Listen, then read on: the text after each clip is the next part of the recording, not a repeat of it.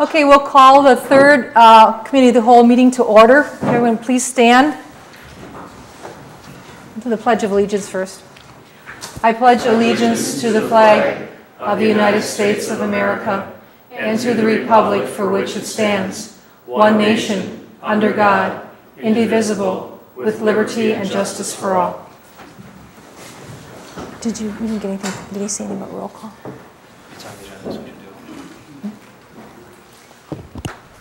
I'm just going to get the information for roll call. Here. Yes.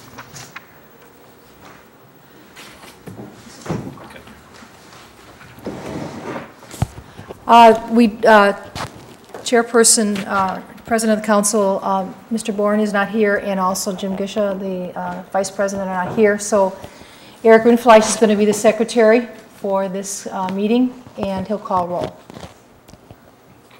Okay, Bourne excused. Bauk is excused. Bowers excused. Decker. Here. Geisha is excused. Hannah is excused. Heidemann. Here. Kath. Here. Kittleson. Here. Clayunas. Here? Montemayor. Here. Rindfleisch is here. Surik. Here. Vanderweel. Here. Vu. And Wagaman. 11 present. 11 present, we have quorum. Thank you. Uh, We would like to entertain approval of the minutes from June 30th Committee of the Whole meeting. It's been moved and seconded to approve the minutes from June 30th. Any discussion on the minutes? Okay. Okay, uh, all in favor of approving the minutes? Any opposed? Okay, they stand approved. Thank you very much. Uh, The agenda this evening is just one item, so we want to get right at it. And uh, Steve Sokolowski from City Planning and Development will introduce our speakers and our pres- presenters today. I believe we all have a plan outlined for us, so we can follow along with that and um, ask questions as we, would you, I don't know, just go ahead and introduce. Thank you. And this is the night. Which one is it? This one right here? Yes. mhm. All right, thank you, Madam Chairman, Council. Nice to see you guys this evening. And Again, we're talking about the Taylor Drive District Master Plan. Um, In August of 2008, we were here with the preferred alternative. Um, Prior to having the document formally adopted by the Common Council, uh, the discussion was that we should at least have an opportunity to one last time publicly speak and have it presented before the Committee of the Whole and the public uh, based on Channel 8. So um, Jeff Sanders is here of Omni and Associates, as well as Clark Meyer. I'm not going to take any of Jeff's thunder. I can help answer questions if anyone has any. But I did want to thank uh, several people with regards to this process. Um, Obviously, I'd like to thank um, uh, Planning and Development Director Paulette Enders and- and uh, Chad Pelishek from the Planning and Development Office. A lot of time and energy spent on our office on this plan. I want to thank Jeff Sanders and his staff at Omni and Associates. Um, They really were instrumental in the development of this plan, um, really took the lead in uh, having several public meetings in terms of uh, uh, pr- providing information to the public to, in order to get a, a base of information in terms of finding out from the city of Sheboygan what we really wanted to see the Taylor Drive master plan look like with many of their uh, exercises with the strengths, the weaknesses, opportunities, threats, visual preferences, cognitive mapping, many uh, different things that they had presented that they used to, uh, in essence, compile the data and now use their expertise to help us out in uh, providing some uh, alternatives and some ways of potentially developing the Taylor Drive corridor in the future. Wanted to thank um, the uh, Mayor Ryan and today's present council, as well as Mayor Perez and the previous council, with the fact of recognizing that this is an important corridor, that we needed to do some things, we need to do some planning and to take on an effort like this because Taylor Drive is a, a very important corridor and something needs to be done, not only to help those businesses that are doing well now, but to also make it a thriving corridor once again. So that's, uh, I I appreciate uh, the council's uh, uh, help in that matter. Also wanted to thank the members of the uh, Sheboygan Development Corporation, uh, John Rhodey and Gary Dulmus were, attended several meetings, so I appreciate that. And last but not, certainly not least, all the stakeholders that participated in these meetings, the property owners, the business owners, the people, the, the citizens that took their time to participate. You can't have a good plan without citizen participation and getting the input from everyone in the community. So I think that's real important, and because of that, I think we'll have a, a better plan because of that. So again, what we're doing here today is we basically were uh, developing a plan for the long-term viability of the Taylor Drive uh, corridor, and we're looking to basically have the plan implemented. We're looking for the committee of the whole to recommend favorably to the Common Council to eventually adopt this long-term strategy, land use strategy for the uh, viability of Taylor Drive in the future. So with that, I will introduce Jeff Sanders of Omni and Associates. We lost our foam. Thank you, Madam Chair. Welcome, Mr. Mayor. Thanks. I promised I would not say Mayor Bob, even though you asked, so it's Mr. Mayor.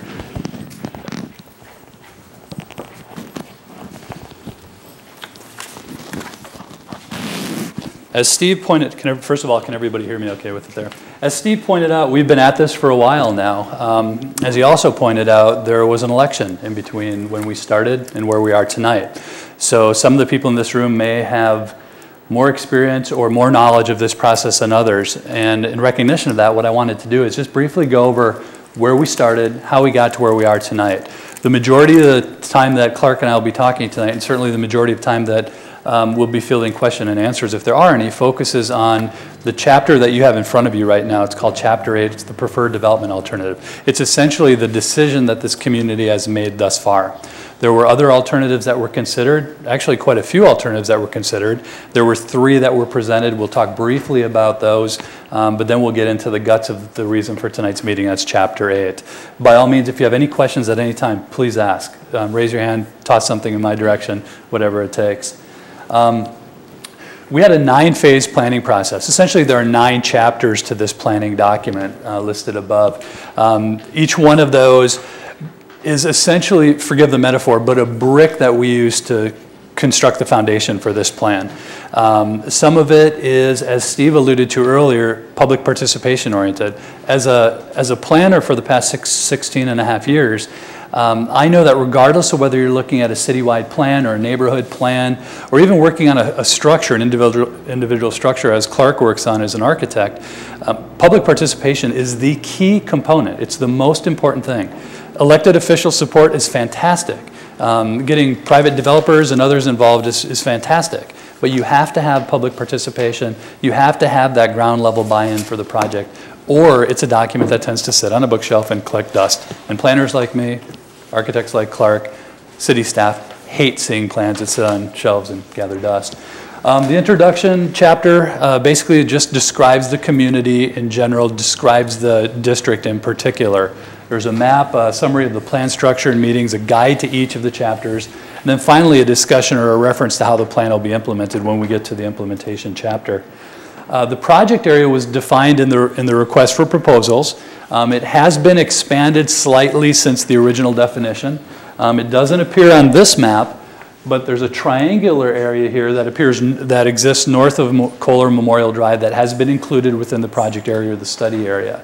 Um, it includes the, the big um, commercial nodes that we have within the district, uh, certainly Memorial Mall, Taylor Heights Shopping Center, um, the former Walmart site, and a number of other properties.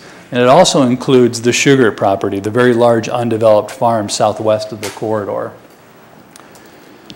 Chapter 2 focused on existing conditions, and it is, as it implies, just a description of the existing conditions in terms of land uses, structures, um, available businesses, vacancies, that sort of thing within the district. Transportation assessment focused on the existing transportation network, its capacity, and its limitations, not only for today, but for the limitations that may come into play as you go forward with implementation of the project. An infrastructure assessment looks at all the infrastructure, water, utilities, cable, that sort of thing. Um, is the capacity there to address current needs? The answer to that question was yes. The question then becomes, is there sufficient capacity to address whatever the plan would call for? And when we did this part of the phase, way back in the beginning, we weren't sure what you, where you as a community wanted to go within the district. What we were sure of is that you had existing infrastructure to support almost anything that was proposed short of heavy industry, and I suspect that was never a real option within the district. Um, There are some upgrades that would be necessary. Certainly, if uh, development occurs on the Sugar property, you're going to have to have infrastructure serving that, that part of the district. In terms of market considerations, what we did is identified five communities that share traits similar to the city of Sheboygan. They're not the same in terms of population, they're not the same in terms of geographic footprint, but in terms of the issues related to the district, uh, the Taylor Drive district, there are many similarities between these five. You'll see them as the village of Ashwaubenon, the cities of Fond du Lac, Janesville, Manitowoc, and Port Washington. The one thing that all six communities have in common is they're all located on water. And water plays a key role, has played a key role in the history of the community, and certainly will play one of the key roles in the future of the community. And we did additional market area data analysis and future market analyses as well. As Steve mentioned, there were a variety of meetings that we held early in the process for the public um, to encourage participation, a kickoff meeting, a vision meeting. And we also conducted stakeholder interviews. Uh, city staff identified a number of key stakeholders within the district, primarily business owners and landowners whose participation they felt was critical to the long-term success of the project. We sat, I sat down with them and interviewed them, most, most cases about an hour to an hour and a half of their time, um, with about 25 questions, if I remember correctly, um, all about how they felt about the corridor today, where, what visions they had for the future corridor, and what role they saw um, themselves playing in partnership with the city and other, other entities, other stakeholders in going forward. Chapter seven, we presented a series of design and development alternatives, and I'll talk about those um, briefly in a moment. But in the introduction to the section, we wanted to talk about signage and wayfinding. You know, basically, how do we get the, the um, market to the market? How do we get um, consumers, residents, um, future business owners, um, industri light industry or light manufacturing if desired, how do you get them from wherever they are to here? And once within the district, how do those people navigate their way through the district? Um, and wayfinding is different than just signage. I mean, there's a, a, a, technique to wayfinding that makes for easy and conducive travel within a corridor. It's not just signage, it's landscaping, it's thematic use of pedestrian amenities and bicycle amenities, signage desi designs. Um, and the wayfinding features, one of which one of our other architects drew up um, as an entry feature, a gateway feature to the district. We want to differentiate the Taylor Drive district from the remainder of the city of Sheboygan. It's a unique, different district. It's not downtown. It's not South Pier, Riverfront, or Lakefront. So we want to play on its strengths, not compare it to the other districts within the community. Um, all three of the proposals that we presented included a mixed-use component focused on the Taylor Heights Shopping Center Walmart property. Uh, mixed use being a mixture of uses within the same structure, on the same site, or on adjoining sites. Those uses typically are commercial, office, and residential. So it's conceivable in the future that we'll see two, three, four, five-story buildings uh, within the district wherein the first floor is devoted to commercial uses, the second floor may be office uses, a real estate office, or something of that ilk. And, this, and the floors above would be residential living. Everything from potentially condominiums to rental apartments, one, two, three, of any size. Um, and the key, the reason for that is the key to the long-term future success of this district is going to be having people in it 24-7. And one of the things we talked about quite a bit throughout this process was our, the, the impossibility of turning back the clock. Um, what the Taylor Drive corridor once was, a thriving commercial district, in that format, it's unlikely to ever be again. What it can be is an equally or more thriving commercial district based upon a differing set of design uses, a differing set of land uses. Um, big box retail is probably not going to be the dominant player within the district that it was in the past. And the reason for that has little to do with the desires of the city or the existing landowners and everything to do with market priorities. Um, big box retail tends to gravitate towards highway corridors now and major through corridors. And you've seen that, you've experienced that firsthand. That's part of the reason, a significant part of the reason um, why you began this project. The other thing is we want to look at land uses that are economic generators, land uses that catalyze the kind of growth or the kind of development that you want to see here. So mixed use development brings a 24/7 audience into the into the district. And that audience becomes a market for the kinds of development that will uh, occur as a result. So the first one we suggested was the event park with a conference center.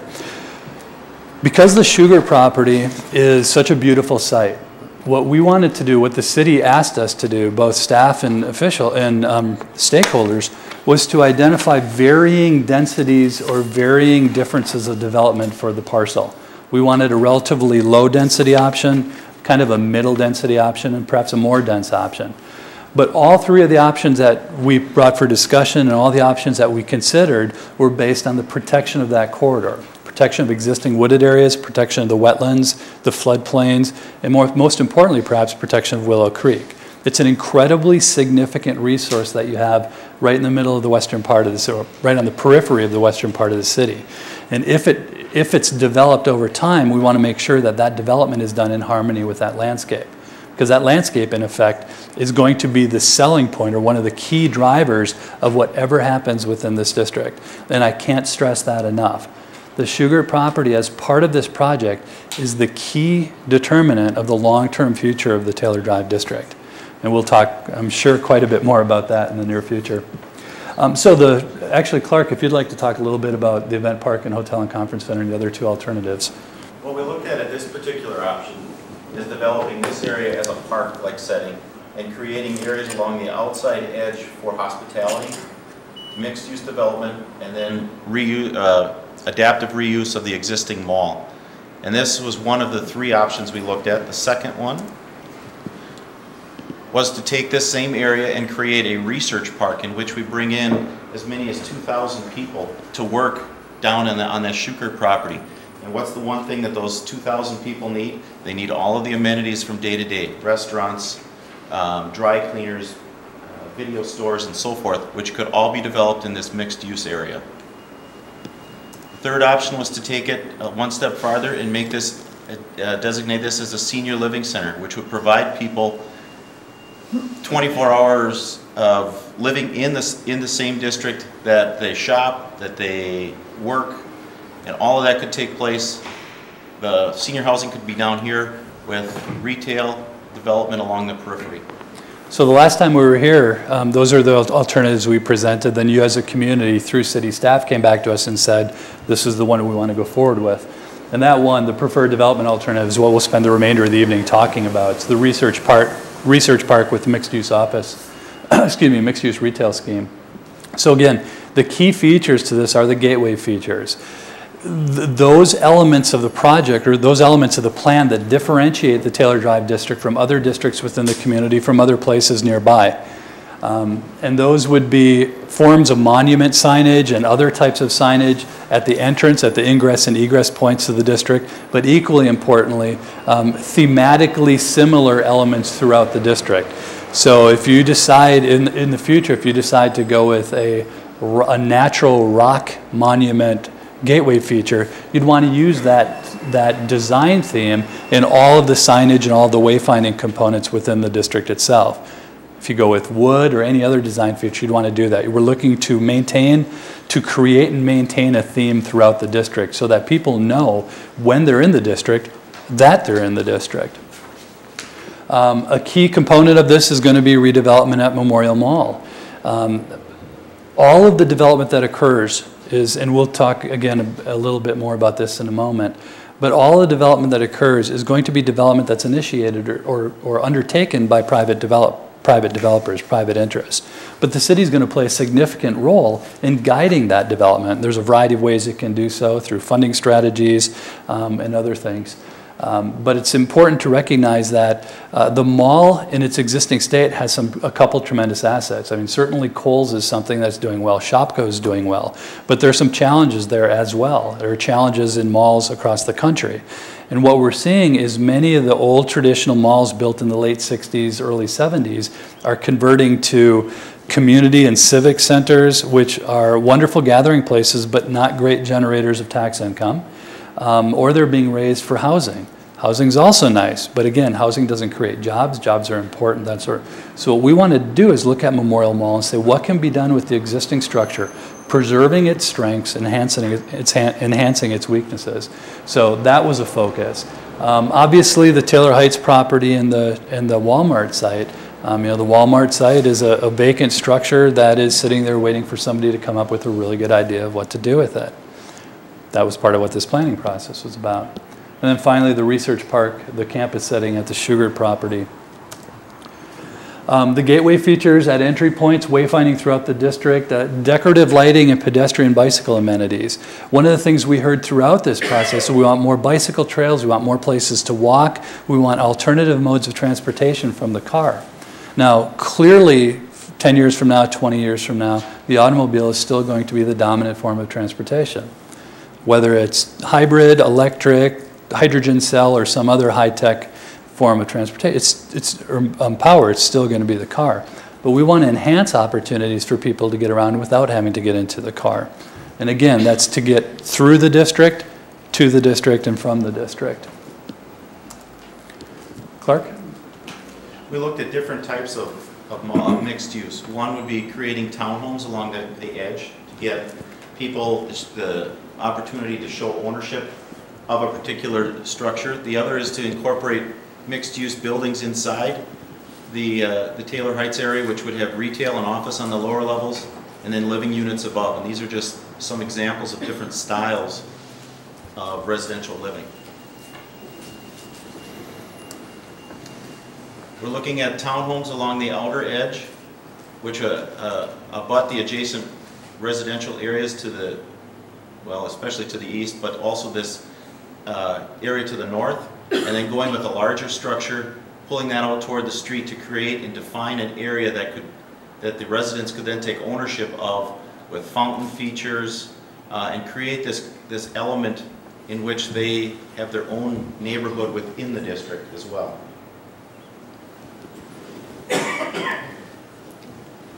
One of the big stumbling points on this is what to do with the, the- the existing uh, mall.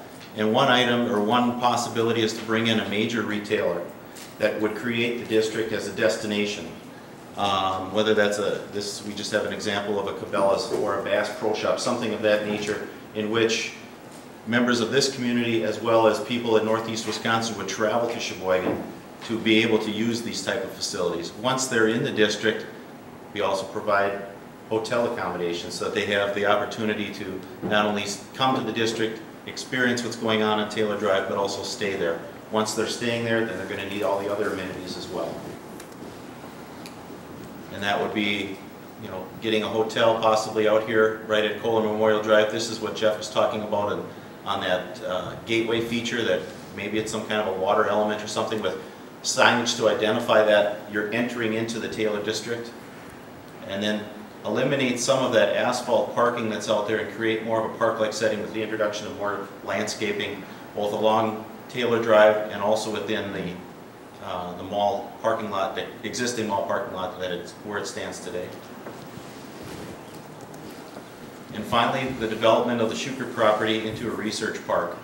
Getting high-tech industry down in that particular area, whether it's medical research or technology, would create the people that would then use the, the other amenities that would occur along the Taylor Drive corridor. Um, This can be done with, whether it's a competition, uh, a national competition to attract well-known architects to, des- to design green buildings, for example, which would then entail people would, would maybe want to come and see what those green buildings are, so that now you're introducing more people to that, to the district as well. And one of the strengths of the Sugar property, one of the strengths of the Taylor Drive district is the Sugar property in the sense that almost every community that you're going to be competing against, because every community out there is going to be trying to secure some of the same types of businesses, some of the same types of industry and commercial development that you're going to pursue. There are very, very few in this area, basically Milwaukee up to Green Bay and points west, that have something like the Sugar property there that have this beautiful natural setting that essentially looks like a bowl, right? When you're in the middle of the sugar property and you look around, you don't see the city of Sheboygan. You see trees, wetlands, you see the stream. There's a ridge that kind of comes all the way around from the, the far northwest corner all the way down to the far southeast corner. That's an opportunity. The kinds of development, particularly the, the green economy, sustainable development, sustainable jobs that every community in the country is trying to get right now.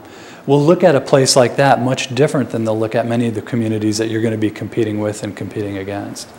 So we want, again, we want to use the natural assets that exist within the district as an attraction for the kinds of development that we're looking at, that you're looking for. And this gets into the campus plan where we maintain as much of the green spaces as we can, and yet intermingle buildings, minimal parking, with a lot of landscaping to create this park-like setting on that lower Shukert property to again maintain the, the green theme throughout.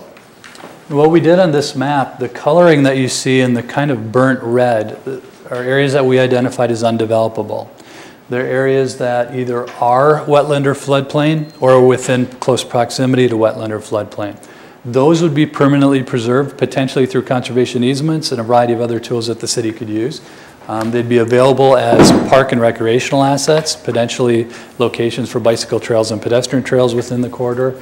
Um, but what we're left with is essentially what Clark described, a very campus-like setting, you have individual nodes of development that exist so that, you know, if we're lucky, we have one big University of Wisconsin or something of the like that comes in and looks at the entire site. What's more likely is you're going to build it up over time. You'll have a couple that'll look close to the road because their business benefits from that. You may have others that would prefer to be more secluded on the site in that campus setting. Uh, the trails that provide access throughout would have rest and reflection areas, which for planners is a synonym for a place to sit down and eat lunch or you know, watch the birds fly by. Uh, that would be integrated within the site and again connected to the Taylor Drive district as a whole. So it's really about embracing the assets within the corridor. And those assets are significant. Shopko, Kohl's, the other businesses that are doing well within the corridor, and then building upon them with some of the businesses that might find uh, or might be able to enhance the district to be what you've wanted, what you want it to be. Um, the question about implementation has come up, and what we did in our implementation chapter, and what you'll see when we present the plan, um, to the city is listed all the tools that are available for local governments to implement plans like this. The city will have opportunities for proactive participation, opportunities to grease the skids, if you will, and it'll be up to you as a community to decide what level of action you take to ensure or to effectuate this plan over time. And really what we were striving for is to create a starting point or a framework from which the kinds of development that you as a city want, the kinds of development that this corridor needs to become the vibrant corridor that it once was, again. Um, and we hope that the plan that we put together, on the strength of all the information that the city provided, uh, 25, 30, 35% of this is us. All the rest of it's you and all the people who participated and said, these are our needs, this is what we want to see. Um, and we built upon that to essentially create this plan. And as Clark and those of you who've been in the meetings that I've facilitated know, I could keep talking and talking, but I'd prefer to leave the rest to you if you'd like. And I'd entertain any questions that you might have about the process in general, the specific proposals, or Brett Favre playing for the Vikings. yes, ma'am. Oh, I'm sorry. Alderperson Montemayor. Uh, Thank you, Madam Chairman. I think it's a good idea for us to have a master plan to go ahead.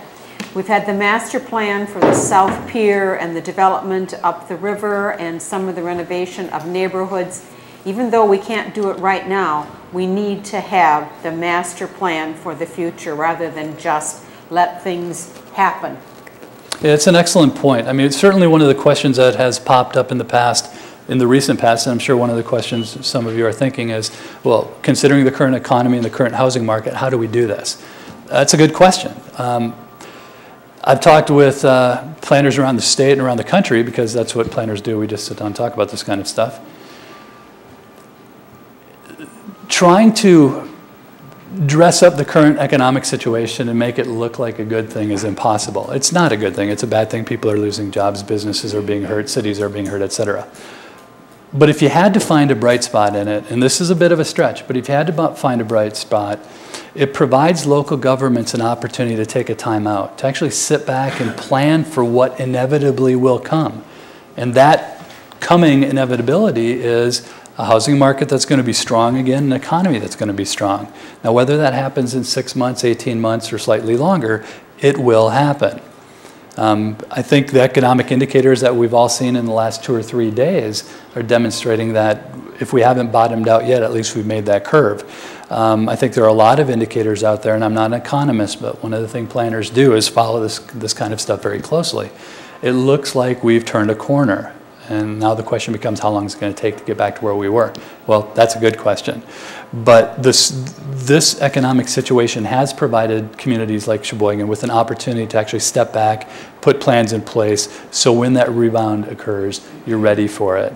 Um, and that's all a plan is, right? It's a guidance document. It's not a blueprint. There's a difference between a comprehensive plan and a general plan and a district plan and things like the blueprint for a structure or an ordinance. It provides guidance to the types of act activities and development that this city wants to see within that area.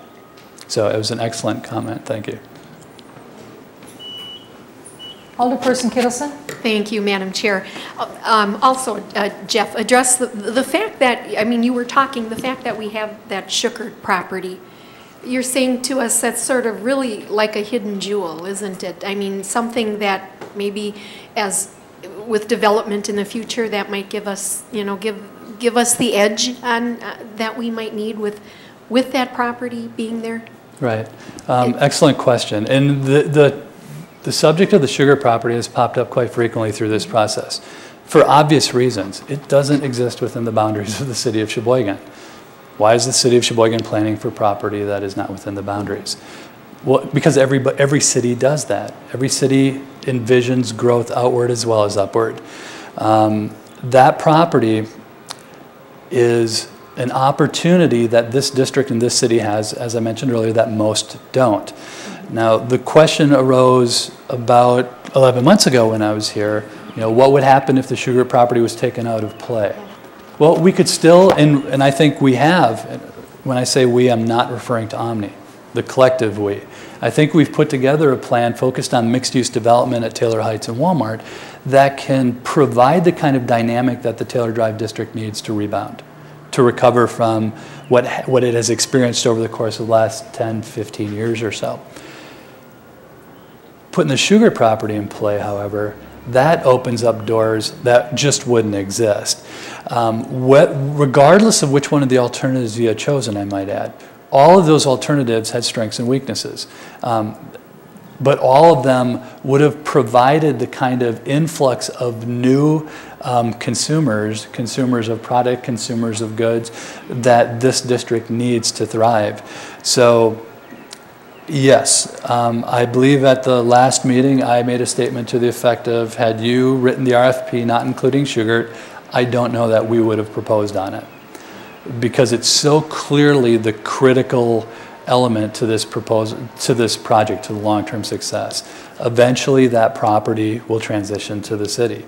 Now, I also mentioned at that meeting in August last year that if it never did, hypothetically, if it stayed in the town, development is still going to occur there. There's, there's just, short of um, Bill Gates or Warren Buffett or somebody buying it and preserving it as it is, the market is going to look at that piece of property and say, we can do something with this, that, that nebulous market that's out there. If it occurred within the town, if stayed within the town's boundaries, the city would still reap tremendous benefit from it because those people aren't going to walk out into the woods at lunch. They're going to walk up onto the Taylor Drive district and and have Thai food or eat at the Chinese restaurant or do it, you know, whatever they do. Um, but it is because of the advantages that cities can provide in terms of utilities, it's, a, it's almost a foregone conclusion that at some point in the future that property is within your boundaries. Any other questions? I have, I have a question, um, Jeff. Yes, Um. Okay, let's say we take this plan and we say, yes, we support it. Um, It could sit there five, ten years. Um, Does it have a maintenance to it? Do- Are there things we need to do to something like this? How long, a- what is the shelf life of something like this? You know, like you're telling us things, you know, let's say, five years from now, could we have to do this all over again? I mean, Excellent question. Uh, Essentially, a, a, a master plan like this is a catalyzer. And just like any other catalyzer, it requires fuel, it requires oxygen, et cetera. Well, the fuel, the oxygen, if you will, that the city can provide is actually quite varied. Everything from programs probably many of you, many of you are familiar with, like TIF programs and things like that. Um, infrastructure improvements, enhancements, um, tax incentives, and other things to incentivize the kind of development that you want to see within the district. But in the end, it's going to require someone, a developer, a business to say, that looks like where we want to be. The city can lay that framework out, can use this plan as, as the, again, the incentivizer of that development, but mm-hmm. in the end, the mm-hmm. market will decide what occurs here. Now, that said, what we did is produced a plan that is market-based. There was nothing of the alternatives that we proposed, the three that came before you about a year ago, and the four or five or so that we could, that we strongly considered before deciding not to pursue, are all market-based. There's a strong market for those types of development, not just in the city of Sheboygan, but in this area in general. And it's the kind of development, again, everybody's going to be competing for. One of the most important things city staff included in the RFP was the term sustainable development. Now, two years ago, I don't know if my mom and dad had ever really heard that term. They know it now. They've heard about the green economy. They've heard about peak oil. They've heard, they've seen rising energy costs. And although we're in a bit of a lull right now, um, that's not going to last either. Um, there are communities across the country, those that are successful right now, that are weathering this economy better than others, are those that were prepared for this kind of downturn, utilizing green development and innovative infrastructure and stormwater, impervious pavement and natural landscaping, the kinds of things that are throughout this plan, the kinds of things that you as a community asked for, not just in the RFP, but throughout the planning process. So there is there are many things that the city can do to incentivize this, to, to again, grease those skids. Um, But we'll find out five years from now if the market, if we were right in our assessment of the market. Going back to your specific question, how long will a plan like this last? Well, 10 years from now, it's out of date. But 10 years from now, hopefully, the plan's no longer necessary. Alderman Wangerman had a question? Thank you, Madam Chairman. Uh, I guess we all agree that the city needs economic development, needs economic growth. To what extent has this whole plan been presented to the people who own businesses there now? Uh, Say, for instance, the corporation or the company that owns Taylor Heights Shopping Center, uh, the mall, uh, Shopko, these places. Uh, Has this all been laid out for them, and what is their reaction to it?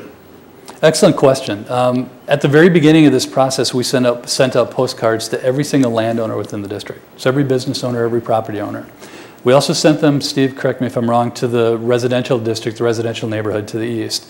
Um, I don't recall what the number was, but it was in the hundreds, I believe. As far as total, Total. I'd say close to 200. Okay, so around 200 notices went out. So every, everyone who owned property or owned a business or had an interest in a business within the district at that time, at the very beginning of this process, received a postcard. And many of those people showed up at the initial meeting. There was a second postcard invitation that went out for the second meeting.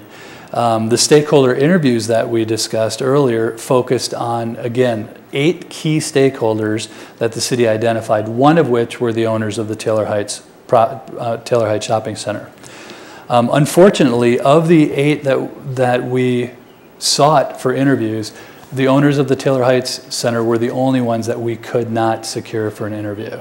Um, And I believe there was a lot of transition going on within the company that owns that business. Um, I had calls to New Jersey, New York, and Minnesota, all trying to track down who the appropriate person would be to, we were prepared to drive there, to fly there, or to just do the interview over the phone.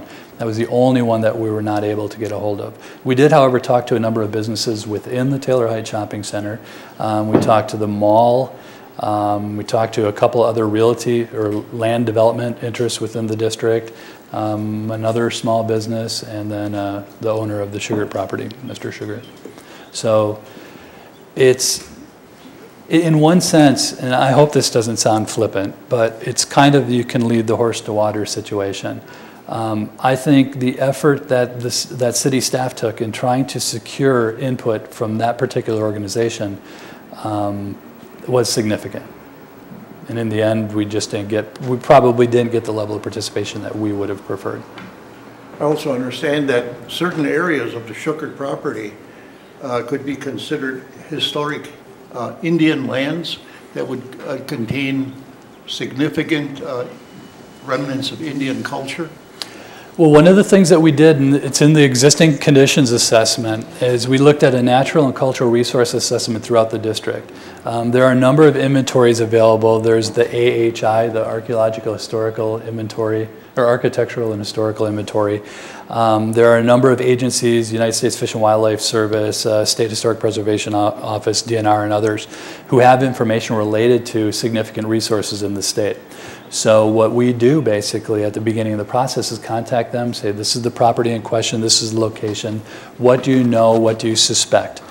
Well, the results were a bit surprising to us. Um, not in terms of the possibility that something were there, but the level of something that might be there.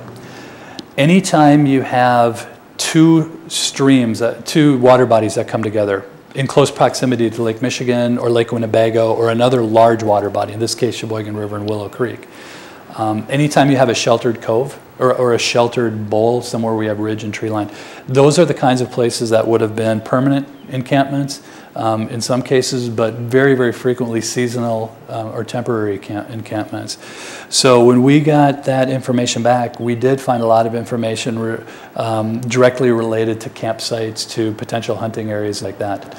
Um, now, as you might suspect, uh, the organizations and the agencies that have that information don't really like to give out a whole lot of detail as to what was there and where specifically it was, um, because that can lead to things not being where they were.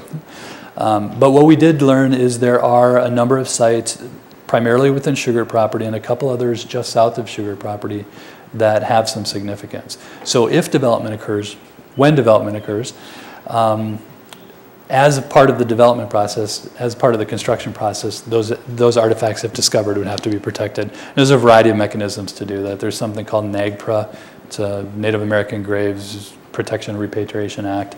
There's something called ARPA, the Archaeological Resource Protection Act, and a number of other things that make sure that if you put a shovel in the ground and you find something interesting, you don't put the shovel in the ground again until you address it.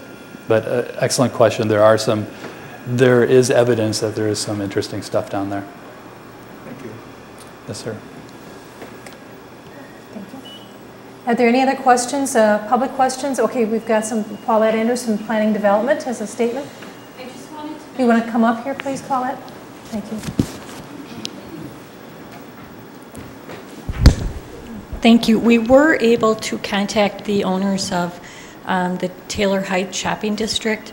It was after the stakeholder interviews were held, and Omni had tried to contact them. So it was months later, but we were finally able to make a connection with them. So we did receive their input. Good. Okay, thank you. Yes, um, Ed Bukowski, would you like to say something? You want to come up? Yeah, question? Citizen input here. I like your proposal, and I like a couple of things that you said. One was a theme over a period of time.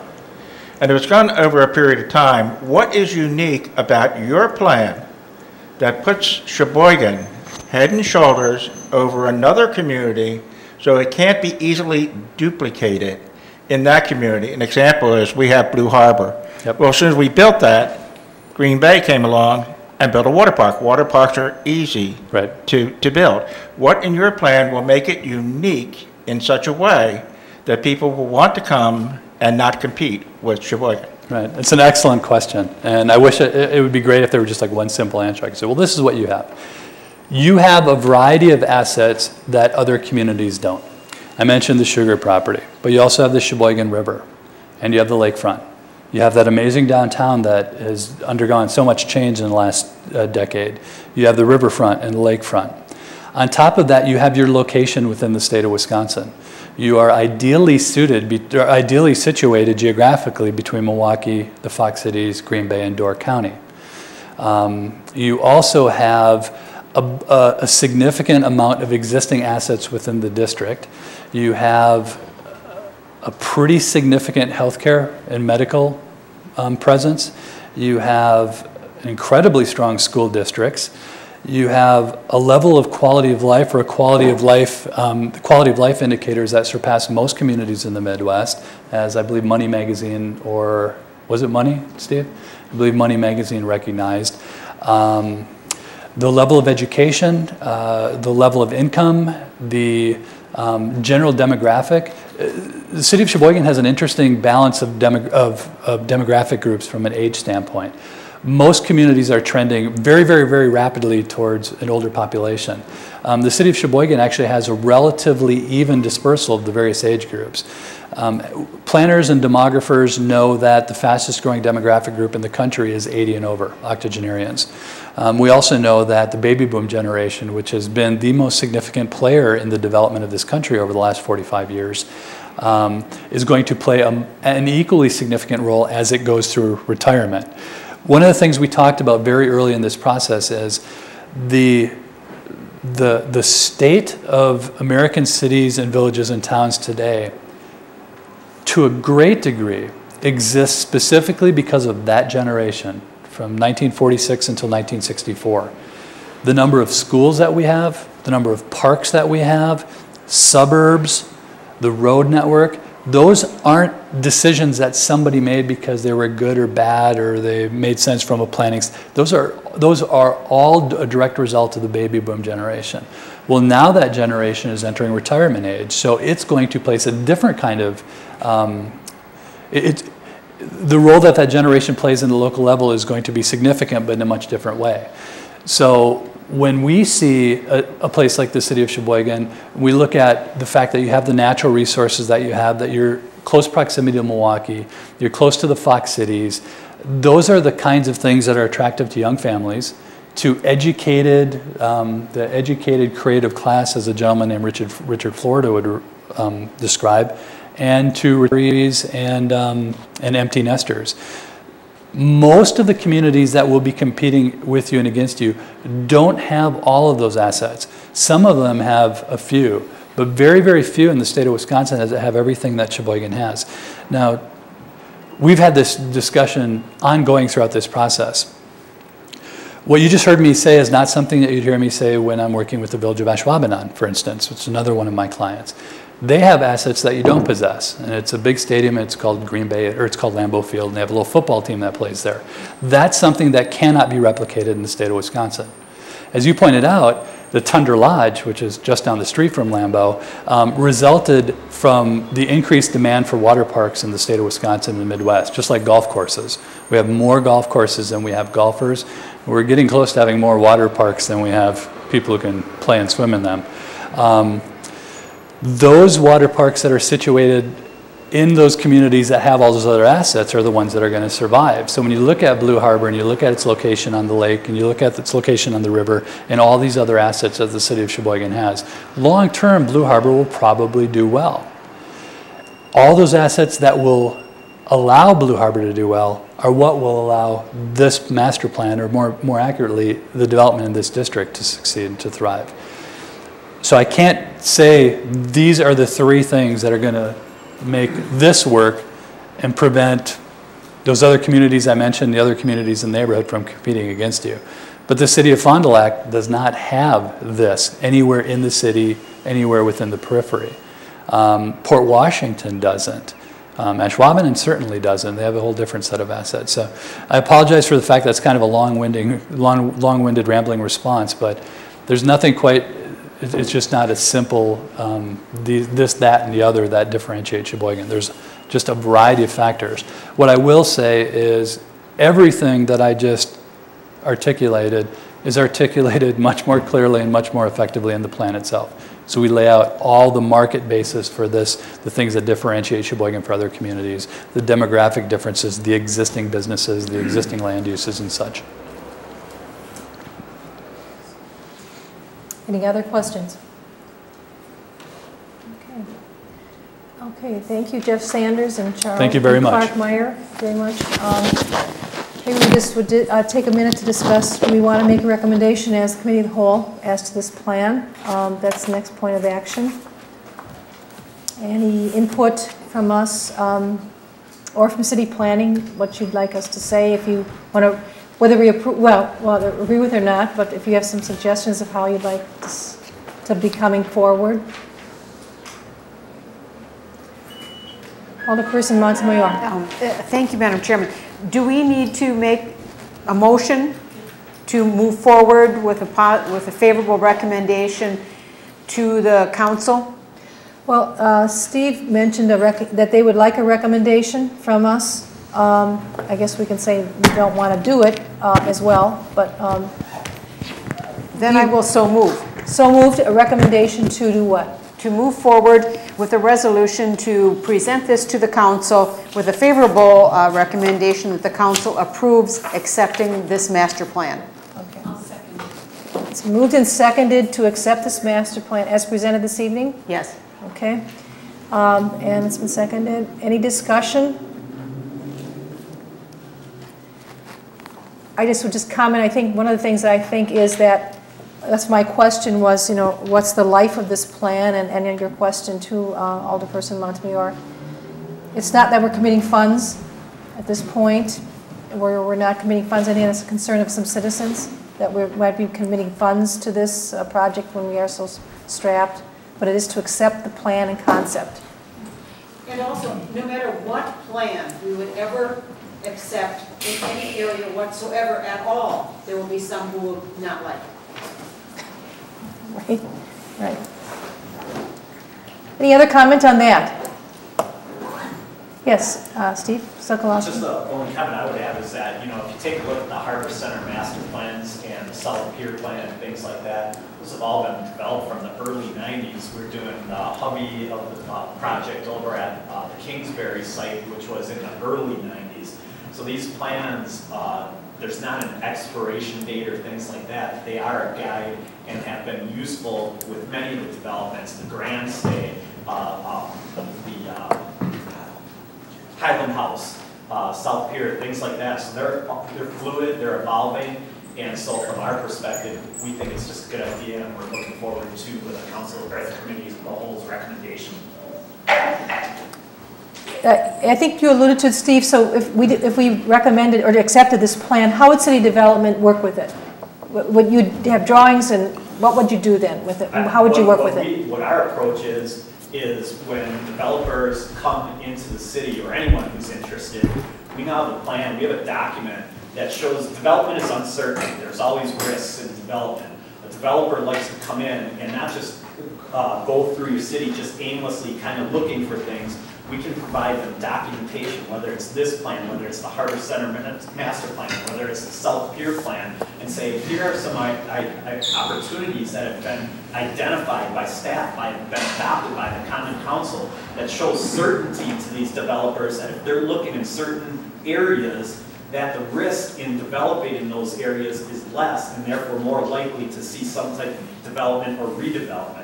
So from our perspective, that's how I'm gonna use it, and that's how our staff is gonna use it, is as people come in, when they leave, instead of just talking, we can physically give them a document that they can refer to and, and take it back to whomever they need to discuss it further. And then, and just like many of the other things, the Highland House, the Grand Stay, utilize those documents and eventually come in with a development proposal. Mm-hmm. Thank you. Paulette Enders?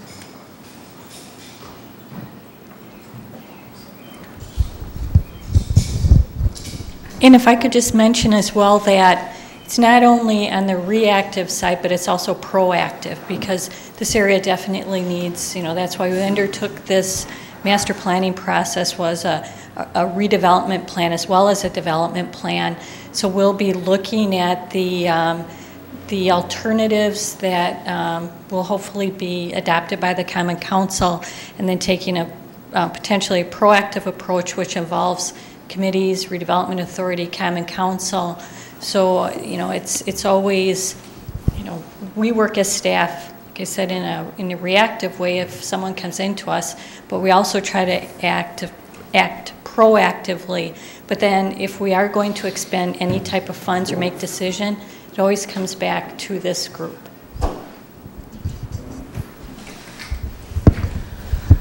Okay, um, before we vote on it, does Omni have any other role to play in this, a part of the, do they, will they come back for chapter nine? Or do- is it, what is this, chapter nine is us?